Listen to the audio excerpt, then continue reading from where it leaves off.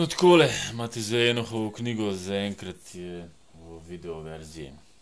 Lahko si preberete brezplačno. Bog časti.